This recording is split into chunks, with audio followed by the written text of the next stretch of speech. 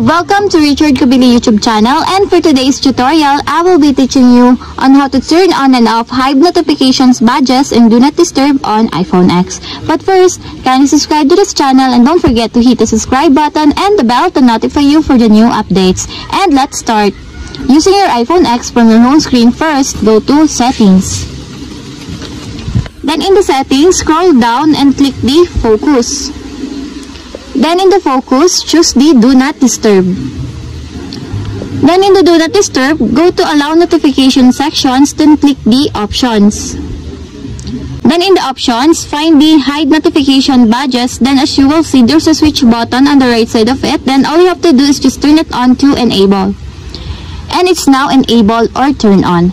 And if you want to disable, just turn it off the switch button to disable or turn off.